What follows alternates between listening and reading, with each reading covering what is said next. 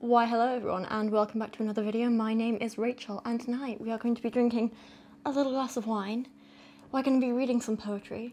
We're going to be wearing a very fancy ball gown and nice earrings because this is our third lockdown and really we just need any reason to dress up. And uh, we're going to be looking at some pretty deep and meaningful poetry today. You guys have been asking me for a while to talk about some poetry that I actually like. And today we're going to be discussing a modern day genius, a woman who puts the technical ability of Shakespeare to shame, who puts the emotional rawness and romanticism of Elizabeth Browning to shame, a woman who touches me in so many ways, a woman who I think we will all agree constantly challenges us. Of course, it's obvious I'm talking none other than Bella Thorne. But um, kind of some jokes aside, but not all. Today we are going to be doing a little bit of a lyric analysis on some of the genius songs released by Bella Thorne. You may have heard the classic "Stupid Fucking Bitch" recently, which is apparently about Tana Mongeau. Apparently, a lot of these are, and other soon-to-be classics such as "Bitch, I'm Bella Thorne," "Pussy Mine," and of course I'm a hoe too. Now, sadly, not all of these are complete lyrics because not all of the songs have been released yet. Some of them are just kind of teasers from her new album that is soon to be out, and I know I'm going to be first in line to buy it. Probably a signed copy on vinyl. Yeah, I think I think we should probably just start with with the big one, the popular one, stupid fucking bitch. Or the polite term, the, the kid friendly version is SFB, which I think you'll all agree is incredibly catchy. Now, for copyright reasons, I'm afraid I can't play you this song, so I am just gonna have to read these lyrics to you, and I think you will find it far more enjoyable. You're a stupid fucking bitch, but you already know this. And you let me see your tits, but I'm still not over it. You wanted me for clout, and I should have thrown you out but I never resist the way you bite your lower lip. Now, can we just talk about the genius rhyme scheme in this? It, it's wonderful. Bitch, this, tits, it, lip. Weren't expecting that last one, were you? And then Bella just throws it in there, catches you off guard, and you're like, mate, she's serious about this. A throwback to a half rhyme from two lines ago. You never, never quite know what to expect with Bella Thorne, do you? You can say a lot of things about her, but one thing, she's not predictable. Now, I think it's fairly obvious here that she is obviously talking about a woman that she really respects and holds in high regard. She does not at all feel used or like she's used this woman. I think that's very clear. Um, there may be some, I don't know, homosexual undertones. You know, I'm getting very Oscar Wilde vibes from this. Th- this idea that you let me see your girl bits, but I'm still not over it. I never resist the way you bite your lower lip. One could argue this means she's attracted to this woman, but I, I don't know, that might be a little bit out there. It's it's subtle. You kind of have to read between the lines a bit to kind of get that idea, but I think at this point we're kind of starting to get an idea of who Bella Thorne is and who she's writing about. On to the chorus. All my friends think you're a bitch. They wish I was over it. Again, bringing that rhyme of bitch and it back. Um, some people say, you know, you might want to be unique in your chorus, you might want a catchy hook. Some people might say you don't want to use the same rhymes as you used in the verse. But this is Bella Thorne. She can do what she wants. Should have left you in a ditch, but I'm not over it. That's right. I'm not over it because I'm a super fucking bitch. I'm a super fucking bitch. Bitch, bitch, bitch, bitch, bitch. And then the hook is I admit it. I'm a super fucking bitch because I let you run your mouth before I even run this shit. Should have been done. So obviously we can see here that Bella is in her genius ways. Um, she's taking that first line of "You're a stupid fucking bitch," and now turning it on its head to say that she is a super fucking bitch. Stupid, super, I did not see that coming. She's saying, look, we're similar. People think we're alike on the surface, but deep down, there's something very, very different between us. You're stupid, and I'm super. Did not see that coming. She goes on to say, Should have hit it and quit it, but I let you check in for extended visits. Should have been done. Should have hit it and quit it. Don't you know I run this town? Now you're making me lit it. I burned it down. And all the bridges in it. Let me break it down. Let me get specific. I burned it down. Let me get specific. You might be slick, but I'm the slickest. You copy my shit, yeah, you tried to mimic. Let me keep going, cause I ain't finished. And now at this point, I know what you're thinking. We all wish she was finished, but she's Bella Thorne, so she's not. Now, I think this um, verse here actually makes a really strong feminist statement because often we get male rappers rapping about how they want to hit it and quit it. Um, but in this case, Bella is like, no, I am the man here. I will hit it and quit. Oh, well, I didn't hit it and quit it, but I should have hit it and quit it. Why am I doing this? Um, therefore, she is assuming the role of the patriarchy in this relationship. And she is saying, I am going to systematically keep you down, keep you in your place, Tana. You girl. You. So, something, something, something feminist. I also want to take a moment to point out the actual absolute genius of taking slang terms and colloquial language and terms which make her seem really down with the kids, like lit, and playing around with it, making some kind of pun. Yes, she's really lit because she's cool, but also she's really lit because she burned it down. What did she burn down? All the bridges in it. What happens when you burn bridges? It means you're tearing up a friendship or a relationship and throwing it out the layers of meaning in this is genius. I just, I can't. I'm overwhelmed by the talent on display here.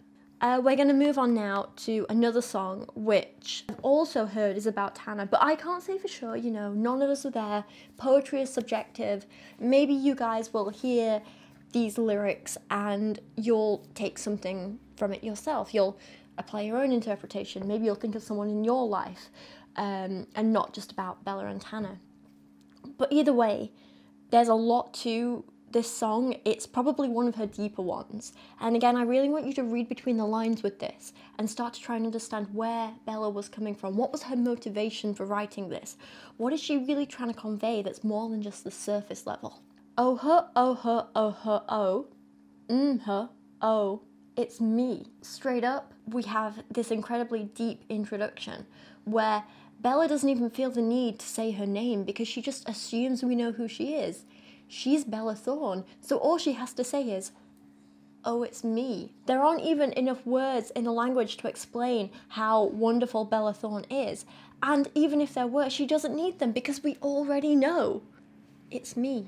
Oh, I love the way she say that pussy mine, pussy mine. Oh, I worked that pussy out like 9 to 5, 9 to 5. Oh, can't get that pussy off my mind, of my mind. Oh, hit it from the front, then I hit that pussy from behind. Oh yeah, pussy, pussy, twist your leg. Oh yeah, break it, break it, break your neck. Oh yeah, I'm a dog woof. What do you expect? Oh, I'ma make you sweat. Oh, I'm a wreck myself. Oh God, what's that? Got your feet up by your neck. Genius. Listen to the way she juxtaposes pussy with I'm a dog. Contrasting animals, but both metaphors. And the way she says I'm a dog, woof. The onomatopoeia here, the woof. She could have just said I'm a dog, but she didn't she added in that woof for real emphasis to really kind of hammer it home that her id is in control here, you know? There's, there's some pretty Freudian elements in this, if you want that kind of reading. But um, yeah, her id is definitely in control. She's kind of animalistic right now. She's like just going with her urges. And she's saying, I'm a dog, I'm a beast, I'm a predator, I'm a wild animal. Woof. There's so much in this. And then comparing the vagina to essentially this animal's prey something that this animal chases after and will tear and rip apart. The graphic imagery there. Some deep stuff here. Some deep stuff. She goes on to say, Never break up, but I fuck you like it's makeup sex. You can run and tell all your friends, my dick the best. Again, the feminist undertones, because Bella Thorne doesn't even have a penis. She is taking this metaphorical penis and saying, I have one, to say, I'm in control in this relationship. She's being a strong, independent woman who's saying, I don't need no man, I got my own penis. Like a waterfall, the way I keep my pussy wet, wet. Keep the pussy wet, keep the pussy wet, wet, wet, wet, wet. Ha ha ha ha ha. Fuck your ex. Oh yeah, run the track. Ice cream paint job on your chest. Oh yeah, don't take your test. We gonna have a fuck fest. Oh.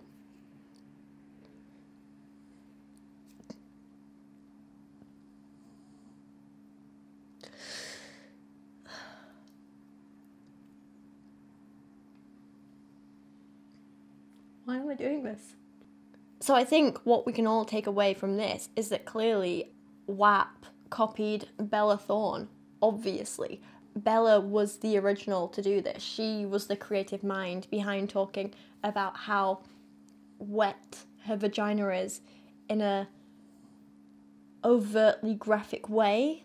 We could say she is a groundbreaker. Um, we could say a lot of things about Bella Thorne, We'll go with Groundbreaker. I don't actually, you know, I don't even know which one came out first, and it doesn't really matter, does it? Because, oh my god.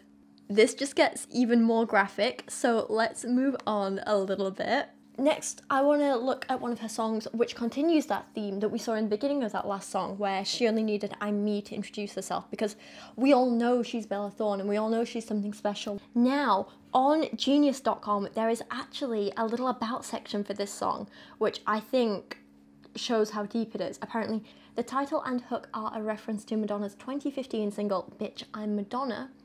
Both songs aim to make light of the status and reputation of the singer, as well as being explicit for shock value. Bitch, I'm Bella Thorne is the first song that she recorded into Back Into Sing, that, that's not English, and was started as a joke. You could not tell, you could not tell at all. Bella's boyfriend, Mod Sun, not anymore mate, got a beat for that joke and they recorded it. You, you cannot tell this started as a joke um, because the subtext in this, amazing. Are you ready? You need to work more, bitch. So already, I'm seeing allusions and references here to Britney Spears with the you gotta work, bitch. Bitch, bitch, I'm Bella Thorne. Allusion to Madonna. She's taking all the female pop icons here and bringing them together. Genius. What? Damn. Bitch, I'm Bella Thorne.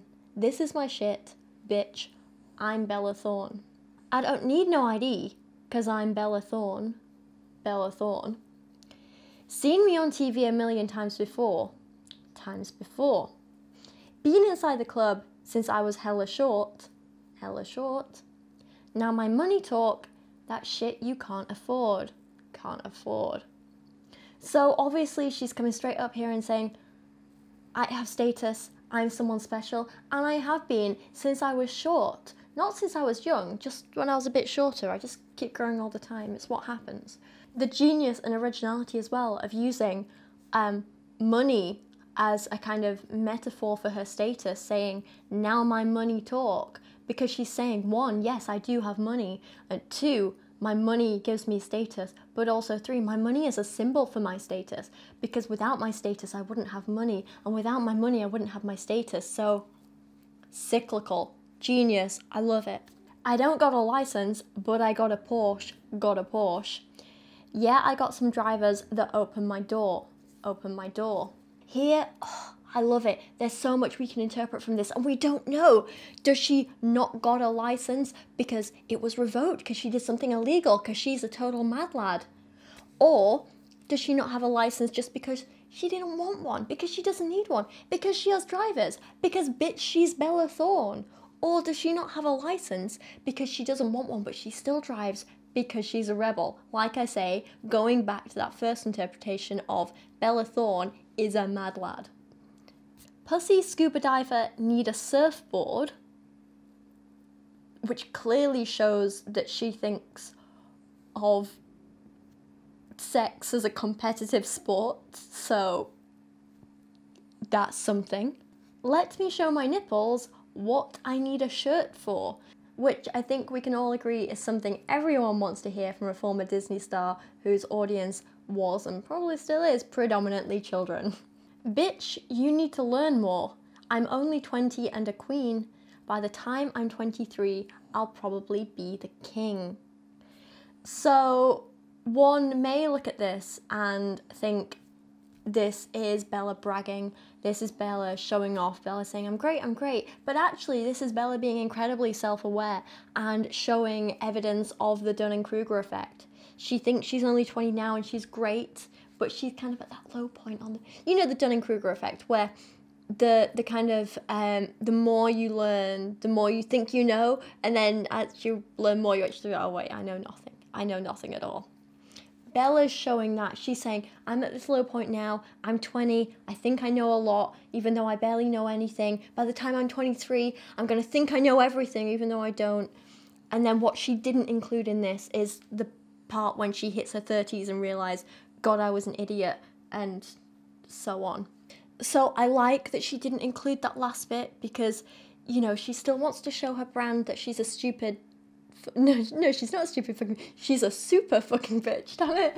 Where's this joke going? I don't know. Let's move on. Let's move on. I lost it. oh my god. I, you know what? I am. Um, I, I can't take this seriously anymore. I'm sorry. oh my god. The thought I I don't I don't really want to read any more of these lyrics out either. I don't know how I kept a straight face for so much of this. Oh my god, Bella Thorne. Bella Thorne. I. Uh, why is this a thing? Why does music like this get made? And worse, why does music like this get millions of views? It's ridiculous to me, millions of listens and streams when it's awful, genuinely awful.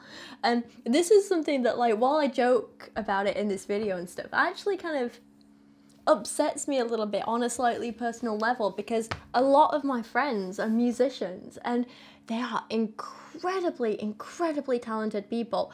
Um, and I say this not just from a biased, they're my friends perspective, but from a like genuinely, oh my god, where did they get this much talent kind of thing from? And it makes me sad when I see that they have songs that only have like a few thousand plays or something like that.